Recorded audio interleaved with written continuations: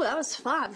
In my new movie Damsel, I play a royal lady who knows her way around a blade. But if you are not fighting dragons, there are still plenty of satisfying things to do with a sword or a dagger in your everyday life.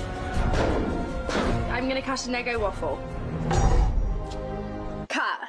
I'm going to make some avocado toast. Oh, the noise.